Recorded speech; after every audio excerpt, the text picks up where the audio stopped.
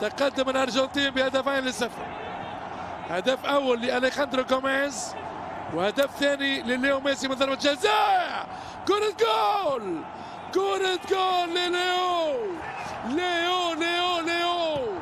وحده وحده ليو يرفع الكرة بطريقة فلكية عالمية ويأتي الثلاثية الأرجنتينية.